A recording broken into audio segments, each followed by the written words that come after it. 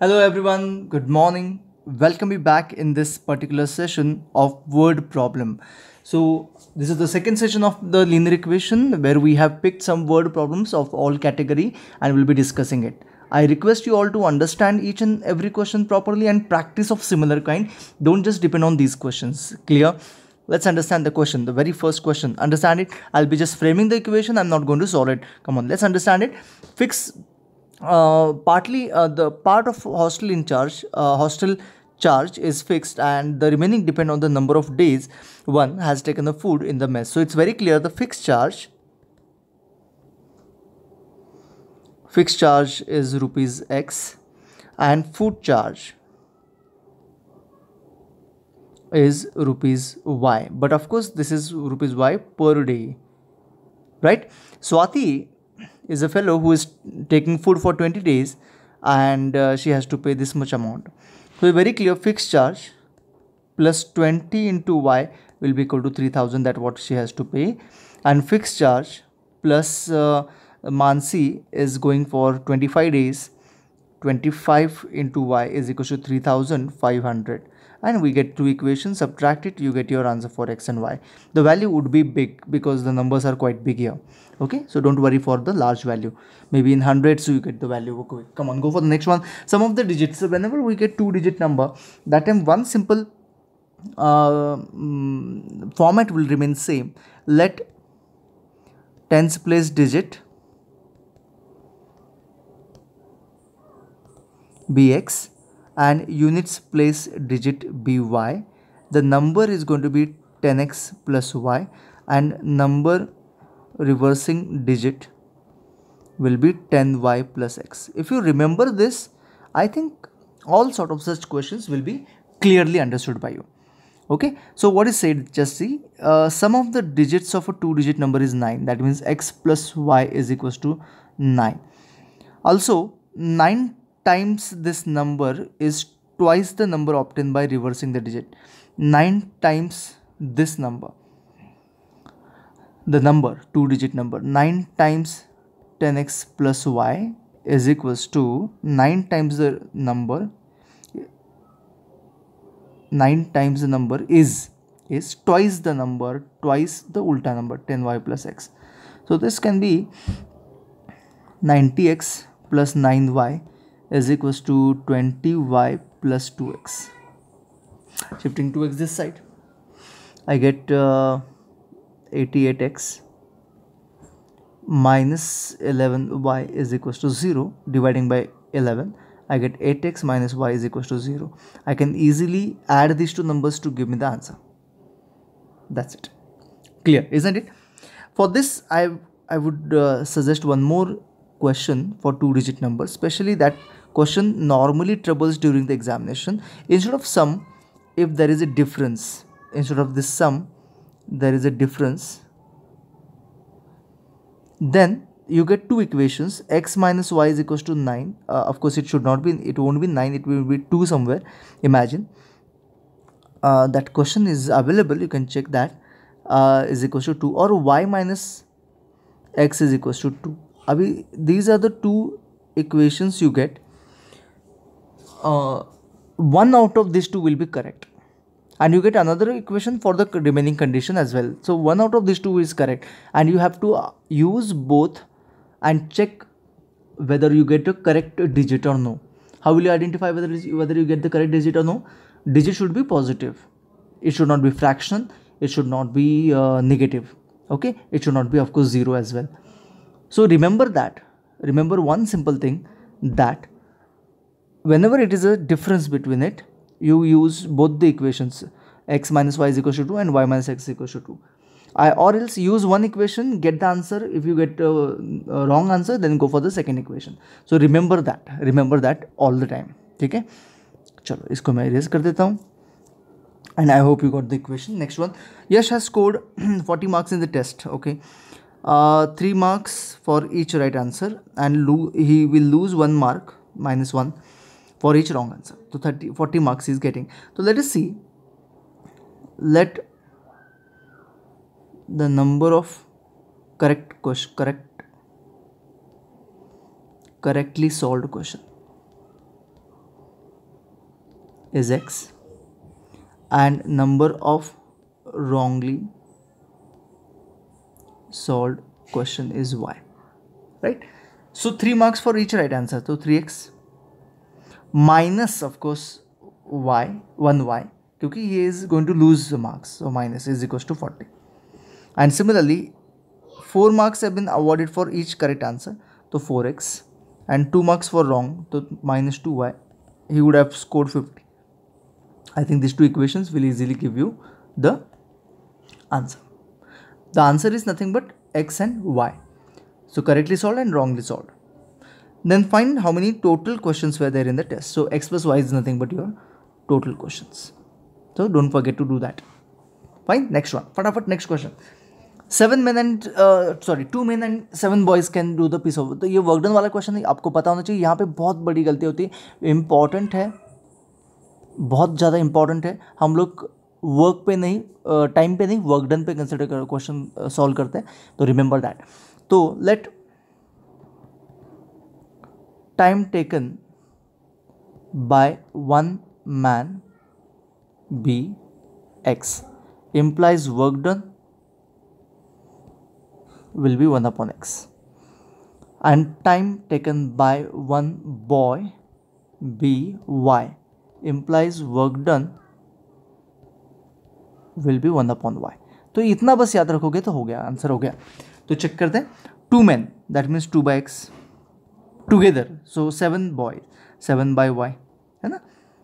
This into two and seven the piece of work in four days is equal to four normally लिखते हैं बच्चे। यहाँ पे बहुत बड़ी गलती होती है and there you don't even get the answer क्योंकि ये वर्क डन है। और ये क्या है? टाइम है। तो इसको भी हमें कन्वर्ट करना है। ये गलती कभी नहीं करना। तो हर it is one by four equation number one and second equation you get four men and four boys तो four by x plus four by y is equals to one by three so this is equation number two ये equation थोड़े से difficult होते हैं to get the answer तो I solve this equation ठीक है? Let one by x is equals to a and one by y is equals to b. तो मैं इसको सॉल्व कर देता हूँ आपके लिए। तो two a plus seven b is equals to one by four. Let it be as it is one by four, ठीक है ना? Four a plus four b is equals to one by three. To make the coefficient same, I multiply this equation. ये मे be three equation है, ये मे be four equation है। इसको मैं two से मल्टीप्लाई करता हूँ तो फोर ए प्लस टू से इसको मल्टीप्लाई किया तो I get fourteen b, right? Seven two ज़ा फोर्टी नाइन इसको टू से किया मल्टीप्लाई तो ये गए one by two equation number five तो if I subtract changing the sign of these two equation I get this get I I get this cancel and I get minus ten b is equal to one by three minus one by two one by three minus one by two which would be minus one by six तो minus ten b is equal to minus one by six b will भी equal to one by six two I know this will be would be a very large answer compared to the answers we got it but it is correct one. Don't worry. Putting this value in any of the equation i get uh, anyone i think this would be uh, second would be better. So i'll put into the second equation. I get 4a plus 4 by 60 is equals to 1 by 3 shifting this other side i get 4a is equals to 1 by 3 minus 4 by 60 so 4 ones are and 4 fives are 1 by 15 right तो if I multiply this by five I get four a is equals to five and five right तो it will be four by fifteen तो a will be equal to one by fifteen this is the answer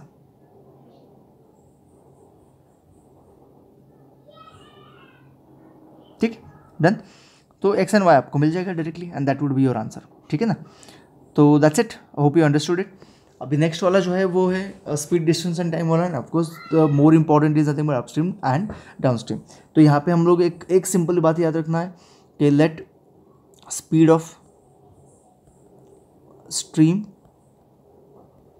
is y and speed of boat in still water as explain the question is equals to x तो upstream speed will be equal to x minus y and downstream speed will be equal to x plus y. तो ये speed हम लोग use करते हैं normally and we get two journeys in this case and the journeys का हमें क्या करना है? इक्वेशन बनाना है. दैट्स इट और कुछ नहीं है. तो उसका एडिशन करना है या सप्रेशन करना है, ये देखना है. तो टाइम का यूज़ करते हैं हम लोग. तो ये रहा हमारा distance upstream so thirty two upstream upstream का मतलब क्या है? एक्स माइनस वाई अभी माइनस अपॉन क्यों किया? Distance time is equal to distance upon speed ये फॉर्मूला हम लोग यूज़ कर रहे हैं। तो टाइम ऊपर डिस्टेंस ऊपर आ गया, नीचे स्पीड आ गया। ठीक है? अपस्ट्रीम है। अपस्ट्रीम तो हो गया। अभी plus thirty six kilometre downstream तो एक्स प्लस वाई इसको ऐड क्यों किया दो इक्वेशंस को? क्योंकि ये टाइम है, ये भी टाइम है। Together it is taking seven hours so that's reason it is added ठीक है?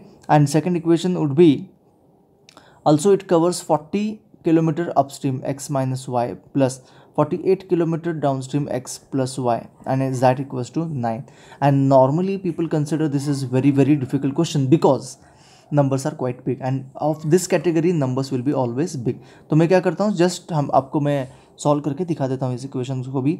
One upon x minus y is equal to a करते हैं तो thirty two a plus thirty six b is equal to seven and forty a plus forty eight b is equal to nine सबसे पहले consider करो कि कौन सा equation आप आ, कौन सा वेरिएबल आप एलिमिनेट करना चाहते हो ए और बी तो मैं ए करना चाहूँगा आप बी भी कर सकते हो तो ए के लिए क्या करना है?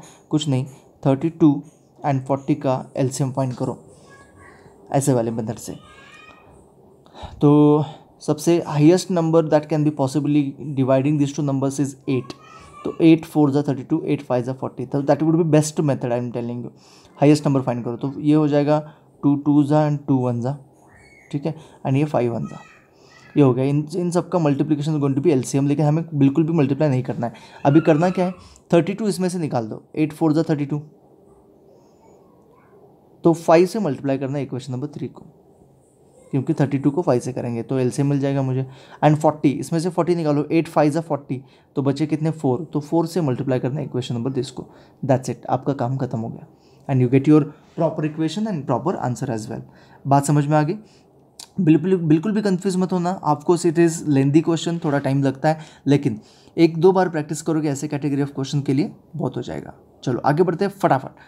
ये एक एज वाला एज कैटेगरी वाला क्वेश्चन है, लेकिन थोड़ा सा डिफ़िकल्ट है, क्योंकि the present age of father is twice the sum दिया हुआ है यहाँ पे sum of ages of his two children तो that's reason I have to take this बाकी एज वाले क्वेश्चन ईजी है. तो present age let present age of father will be equal to x and sum of present age of two children will be equal to y ऐसे हम लोग consider करते हैं right तो we have present age of father is twice ठीक है? तो present age of father is x is equal to two y यहाँ तो खत्म हो गया x minus two y is equal to zero देखो twice the sum of the age of two children after twenty years तो check करते हैं यहाँ पे after twenty years what will be father's age? Father's age is going to be uh, x plus 20 and children's sum of sum of children's age or son's age whatever. अभी ये होगा y plus twenty यहाँ पे होगी गलती. क्यों y plus twenty नहीं होगा? क्योंकि बीस साल दोनों के बड़े हुए हैं. ओके okay, दो चिल्ड्रन हैं दो बच्चे हैं दोनों के बीस साल बड़े हैं तो दोनों के ट्वेंटी ट्वेंटी मतलब यहाँ पे x plus y plus forty होगा. और यहाँ पे सबसे बड़ी गलती करते हैं बच्चे. तो इसलिए मैंने क्वेश्चन लिया हुआ है. एक क्वेश्चन नंबर वन तो रेडी हो गया. सेकंड इक्वेशन देखते हैं. After twenty years his age will be मतलब this will be equal to the sum of directly equal तो x plus twenty will be equal to y plus forty not twenty तो x minus y is equal to twenty is going to be your equation number two दोनों equation को separate करो you get your answer done okay मैंने बस इस forty के लिए एक क्वेश्चन लिया था। तो आगे बढ़ते हैं। May be the last question ये हमने ऑलरेडी इससे पहले वाले वीडियो में कवर किया है। मैं फिर से ले रहा हूँ so that you don't forget this ठीक है? The distance between car A and car B is 100 kilometer. Both start at the same direction at the same time. Then they meet at 5 hours. So if they move in this direction a as well as b then they meet at particular point p in 5 hours. But if they move towards each other that means in this direction they meet at r point in 1 hour ठीक है? तो ये आपको equation बनाना है इसका। तो चलो देखते हैं, फटाफट लेट्स अंडरस्टैंड इट ये डिस्टेंस तो 100 किलोमीटर है, हमेशा ए बी का डिस्टेंस 100 किलोमीटर ही रहेगा and which is going to give us the answer यहाँ पे करना क्या है? Speed of A is x kilometre per hour B will be y kilometre per hour हमें कंसिडर करना है। हो गया? अभी करना क्या है यहाँ पे? सबसे सिंपल सी बात है यहाँ पे। कुछ ज़्यादा डिफ़िकल्ट नहीं, कुछ ज़्यादा टेंशन नहीं है। हमें बस डिस्टेंस का फॉर्मूला यूज़ करना है। डिस्टेंस यहाँ पे यूज़ करना है, क्योंकि डिस्टेंस गिवन है। ओके टाइम के बारे में भी बताया, लेकिन distance is very prominently given तो distance is equal to speed in time तो A A and B both have covered the distance from here till P point B also has covered till P point and it has taken five hours तो A के लिए जो distance था, वो distance है A P and A P is going to be equal to distance into speed sorry speed into time तो speed कितना है? एक्स है. एंड टाइम कितना है? फाइव आवर्स है. तो it will be five X and B P that B has taken to reach point P will be equal to five Y because speed is Y and time will be same similarly in this case A R is going to be equal to देखो A R यहाँ से यहाँ तक। A has taken that much distance covered that much distance in one hour तो it is X one into speed of A and br is equals to 1 into speed of B that is Y तो B R will be equal to Y तो हम लोग easily इसको solve कर सकते हैं। A P minus B P is equal to A B तो A P minus BP is equals to AB. I hope you understand. That means 5x minus 5y is equals to 100. And similarly, AR plus BR is equals to 100. That is AB, of course, AR plus BR, which will be x plus y is equals to 100. You can divide this equation by 5. I get x minus y is equals to 20 as equation number 1 and x plus y is equals to 100 as equation number 2 and your work will be done. Got it? Understood? Hope you have understood this question as well. I hope this video will be helpful. If you need some more help from my side, please don't hesitate to ask me. Thank you so much. Bye bye. See you.